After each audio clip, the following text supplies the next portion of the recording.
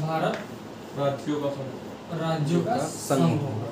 Union of states India will be the union of states राज्यों का संघ। संघ होगा। इसका मतलब क्या? कि दे अनब्रेकेबल यूनियन है वो ब्रेक नहीं हो सकते। ऐसा नहीं है कि नहीं अब जैसे कोई भी स्टेट है वो कहेगा कि नहीं, आज बोल दे कि नहीं हमें आपसे अलग होना है तो अलग हो जाएगा। ऐसा नहीं हो सकता। आप अलग नहीं हो सकते। जैसे भी ये वो चल रहा है जैसे पंजाब वाले होना चाह रहे हैं। खालिस्तान जैसे बोलते हैं खालिस्तान। वो नहीं हो सकता है। अभी ऐसे नहीं हो सकता ये अक्सर तब होता है जब सेंट्रल में जिसकी सरकार है उसके विपक्ष वाली सरकार जिस राज्य में होती है अक्सर उस राज्य में हमें सुनने को मिलता है कि मुझे अलग राज्य अलग राज्य क्या यही है। अक्सर तो जिस- अलग राज्य जिस जिस सरकार जो सरकार अगर केंद्र में है हम्म। उसके विपक्ष का अगर होता है तभी ये सुनने को मिलता है। हाँ, अगर पक्ष का है तो नहीं तो ये सुनने को नहीं मिलता। है रेयरली कभी ऐसा होता। होगा लेकिन ये ज़ीरो ही होता नहीं होता होता है। ठीक है? तो हम लोग का भारत के राज्यों का संघ होगा। जितने भी हम लोग के ये स्टेट हैं जितने हम लोग के टेरिटरी स्टेट हैं सब इसमें इंक्लूडेड इंक्लूडेड है। इसमें सबका वर्णन दिया गया किसमें प्रथम अनुसूची में फ़र्स्ट फ़र्स्ट शेड्यूल में। अब दूसरी अनुसूची पे आते हैं। दूसरी अनुसूची में क्या दिया गया? क्या दिया गया? सेकंड शेड्यूल दूसरी अनुसूची में वेतन से संबंधित दिया गया है। वेतन। राष्ट्रपति का वेतन सैलरीज हाँ प्रधानमंत्री का वेतन सैलरी सैलरी ठीक है? सबका वेतन। राज्यपाल का वेतन ठीक है? सबका इसलिए वेतन से संबंधित है। इसको अगर एक लाइन में बोला जाए तो क्या होगा? वेतन से संबंधित। वेतन संबंधित सैलरी से रिलेटेड है ठीक है? रिलेटेड तीसरा तीसरी अनुसूची तीसरी अनुसूची जो है वो ओथ समझते हैं आप लोग? ओथ शपथ। शपथ लेकिन इसमें एक चीज़ का ध्यान दीजिएगा महान्यायवादी शपथ ग्रहण नहीं करता है। महान्यायवादी को छोड़कर महान्यायवादी मतलब अटॉर्नी जनरल। हाँ? Attorney general. ठीक है जब क्या होता है भाई? Attorney general. आगे बताएँगे उसको। आगे बता महान्यायवादी को छोड़कर छोड़ सबका शपथ ग्रहण शपथ का प्रावधान है। क्या है? शपथ का प्रावधान। प्रावधान है। अब आगे चौथी अनुसूची। ठीक है? चौथी अनुसूची में क्या दिया हुआ है? चौथी। कोई बताएगा? चौथी अनुसूची में राज्यसभा के सीटों का वर्णन दिया गया है। राज्यसभा राज्यसभा में कितनी सीटें कितनी होंगी सीटें होंगी? इस राज्य में कितनी सीटें होंगी? हम्म। इस किसमें दिया हुआ है? चौथी चौथी अनुसूची में। ठीक है?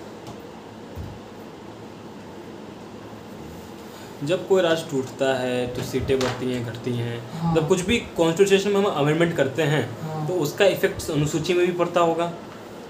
हाँ।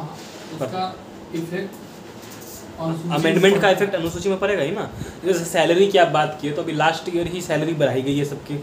हाँ तो इसमें तो। इसमें पड़ जाएगा इफ़ेक्ट इसमें भी चेंज होगा। इसमें चेंज हो जाएगा। हम्म, इसमें जो भी परिवर्तन होंगे हम्म। वो अनुसूची। उसमें परिवर्तन हो अब राज्य है घटेगा बढ़ेगा हाँ। तो पहले सूची में तो बढ़ेगा ही ना। अट्ठाईस राज्य इस समय हो गए हैं। 28 राज्य। विराट केंद्र शासित प्रदेश में। हाँ। तो पहले सूची में अट्ठाईस राज्य का वर्णन देगा हाँ। और आठ तो भाई जब जब अमेंडमेंट होगा तो अनुसूची को भी अमेंड किया जाएगा। अमेंडमेंट किया जाएगा। किया जाएगा। मतलब किया नहीं जाएगा। मतलब उसमें जोड़ दिया जाएगा। हाँ, ऑटोमेटिक हो जाएगा। हाँ उसमें हो ही जाएगा। क्योंकि उसमें वर्णन जैसे मान लीजिए कोई किताब हम पढ़ते हैं हम्म। तो उसके पहले भूमिका दिया रहता है। हाँ। भूमिका मतलब समझते हैं ना? परफेस परफेस प्रीफेस हाँ प्रिफेस तो वो दिया हुआ था। तो उसी तरह ये इसमें दिया हुआ है। कि अंदर आपको जो चीज़ें पढ़ना है, ये चीज़ें आपका है। ठीक है?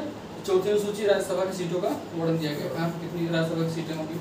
अब पांचवी अनुसूची पे आते हैं, ठीक है? पांचवी अनुसूची। पांचवी अनुसूची में दिया हुआ है कि जो भी अनुसूचित जनजाति के क्षेत्र हैं, ठीक है?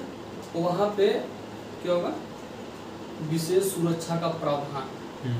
जहाँ पे अनुसूचित जनजाति का एकदम क्षेत्र ही नहीं अनुसूचित जनजाति क्षेत्र है। एकदम स्पेशल उसको क्राइटेरिया बना दिया गया कि नहीं ये अनुसूचित जनजाति का क्षेत्र वहाँ उसके अलावा कोई रहता ही नहीं है।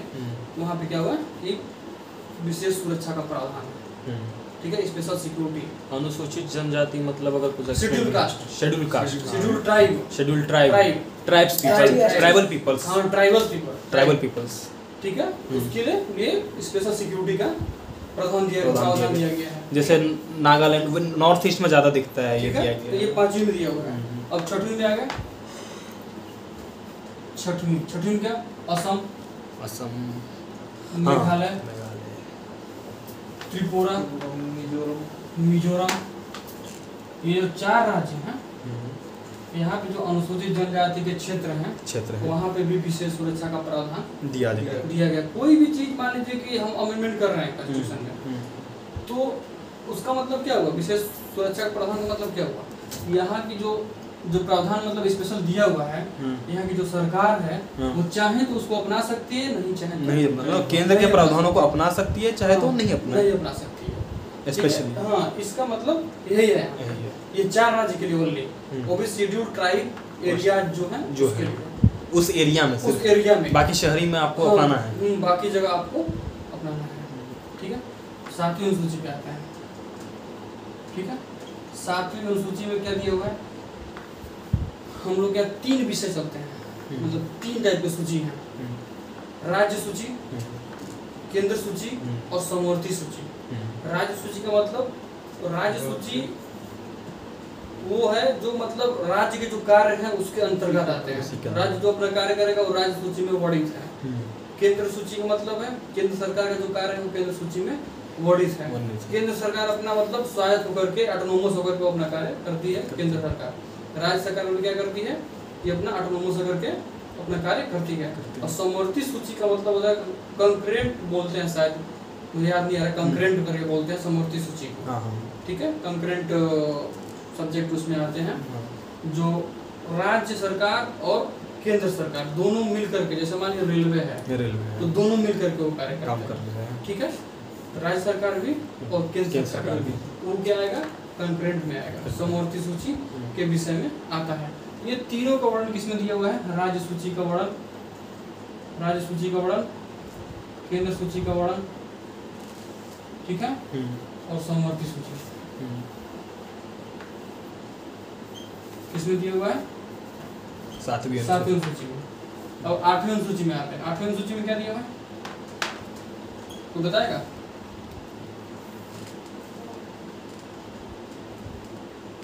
आठवां शेड्यूल जो हम लोग का है उसमें क्या है?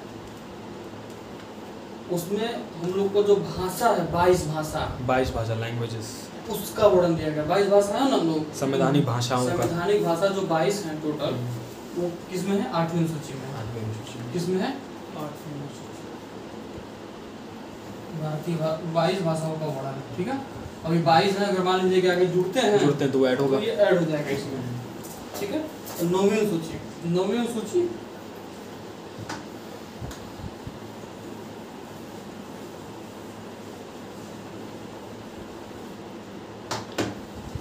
जो नौवीं अनुसूची है ये उन्नीस सौ इक्यावन में इसको संशोधन करके जोड़ा गया था। कब जोड़ा गया था? उन्नीस सौ और ये संविधान का प्रथम संविधान संशोधन भी है।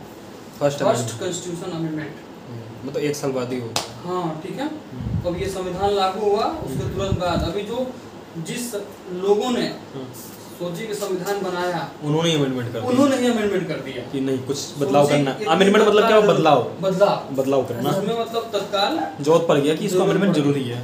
नवीन सूची में देखिए भूमि सुधार अधिनियम दिया गया है हम्म, ठीक है? Land reform act land reform act और संशोधन इसमें मतलब ये था कि जो भी हम संशोधन मतलब बदलाव करना उसमें मतलब संविधान में बदलाव करना। जैसे कोई भी चीज़ हम बदलाव चाहते हैं तो कुछ संशोधन करेंगे। उसमें जब प्रस्ताव जैसा पारित करते हैं पार्लियामेंट में उसके बाद इसको हम बताएँगे आगे बाद में कैसे वो अमेंडमेंट होता है। हम्म, तो इसमें प्रथम संविधान संशोधन 1951 में हुआ और हुआ। नवीन सूची में भूमि सुधार अधिनियम हम्म, जोड़ा गया। और ये क्या हुआ कि इसमें जो भी आर्टिकल डाल दिए जाते थे जैसे हम्म। नवीन सूची में उसको हम कहीं चैलेंज नहीं कर सकते थे। नहीं कर सकता था चैलेंज ठीक है? ये ऐसा अनुसूची बनाया गया। जैसे भूमि सुधार वाला था तो इसको भूमि सुधार अधिनियम मतलब वो लेके तो आ गए। इसको क्या कि नवीन सूची में डाल दिए ये तर्क मतलब इसको क्या बोल सकते हैं? याद नहीं आ रहा। जैसे इसमें जो भी हम अनुसूची डालेंगे हम्म। कोई भी अनुसूची है उसको हम चैलेंज नहीं कर सकते किसी भी तरीके से। नहीं कर वो सेफ़ है। सेफ़ है। जैसे लैंड रिफॉर्म वाला जो था हम्म। उसको इसमें डाले तो उसको सेफ़ है। हम बिल्कुल उसमें कोई छेड़छाड़ नहीं कर नहीं कर सकते हैं। ये नौवीं अनुसूची में दिया हुआ था। अब दसवीं अनुसूची में क्या था? दसवीं अनुसूची में दल बदल। दल बदल कानून। ठीक है? दल बदल कानून दल बदल कानून का मतलब समझना है? कि अगर आप कांग्रेस से हैं विधायक जीत करके आ गए जीतने के बाद अगर आप बीजेपी ज्वाइन करते हो तो आप अपनी विधायकी खो देते हो। आपकी विधायकी की सदस्यता जो है वो रद्द हो रद्द हो जाती है। आप विधायक नहीं रहोगे। आपको दोबारा चुनाव लड़ना पड़ेगा। ठीक है? आप ऐसा नहीं कि नहीं किसी और पार्टी से जीत गए फिर चलेगा किसी और पार्टी किसी और पार्टी ये कानून आया इसके लिए। ठीक है? अब आ गया है। ग्यारहवीं। ग्यारहवीं? सूची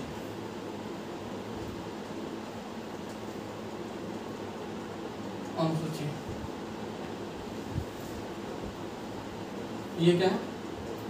पंचायती राज। पंचायती राज दिवस मनाया कब जाता है? पंचायती राज दिवस। पानी में तो हुआ था पंचायती राज दिवस मनाया जाता है चौबीस अप्रैल को। चौबीस अप्रैल। ठीक है? चौबीस अप्रैल। को। पंचायती राज सबसे पहले दो अक्टूबर उन्नीस सौ उनसठ को राजस्थान के नागौर ज़िले से सबसे पहले ये स्टार्ट हुआ था। जो हम लोग यहाँ पंचायती राज व्यवस्था है वो त्रिस्तरीय पंचायती राज व्यवस्था है। हम्म, त्रिस्तरीय मतलब ग्राम पंचायत हम्म, क्षेत्र पंचायत जिला पंचायत। तीन तरह चुनाव होते हैं हम्म। और ये बलवंत राय मेहता समिति के तहत ये चीज़ अपनाए गए हैं। ठीक है? जो समिति बैठक बैठी थी जिस समिति के तहत हम लोग ये अपनाए हैं त्रिस्तरीय पंचायत समिति। हम्म। ये किसके तहत है? बलवंत राय मेहता समिति। किसके तहत है? बलवंत राय। मेहता समिति के तहत है। इस त्रिस्तरीय पंचायत राज। इसमें मतलब पंचायती राज का व्यवस्था इसमें दिया त्रिस्तरीय पंचायत जो है हम्म। इसका वर्णन किया गया है पूरा। विस्तृत वर्णन जो है डिस्क्रिप्टिव पूरा। त्रिस्तरीय पंचायत। ठीक है? ग्राम पंचायत क्षेत्र पंचायत। और जिला पंचायत। इसमें दिया हुआ ग्यारहवीं अनुसूची में दिया हुआ ठीक है अब बारहवीं अनुसूची का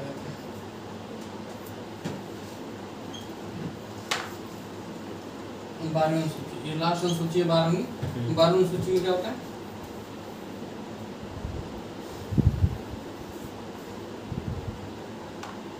बारहवीं सूची में नगर निकाय। नगर निकाय। इसमें नगर निकाय से रिलेटेड है। जो भी नगर पंचायत होते हैं नगर परिषद होते हैं महानगर होते हैं इसमें जो भी चुनाव होते हैं ना तो कोई पार्षद होता है कोई नगर निगम परिषद वाला चुनाव होता है तो ये चीज़ें उसके क्या अधिकार हैं? ठीक है? क्या क्या उसकी आवश्यकताएँ हैं? ये सब चीज़ें कितनी बैठकें होनी चाहिए क्या होनी चाहिए? जैसे मान लीजिए कि ये पंचायत चुनाव ग्राम पंचायत चुनाव है तो इसमें क्या दिया हुआ है कि जो। भी ग्राम पंचायत जो भी ग्राम प्रधान चुन के आता है वो साल में दो बैठकें कराएगा। जैसे हम लोग का पार्लियामेंट में क्या होता है कि छः महीने से अधिक का गैप नहीं होना चाहिए हम लोग का संसद सत्र चल लेंगे ठीक है? उसी प्रकार से यहाँ ग्राम पंचायत में भी है।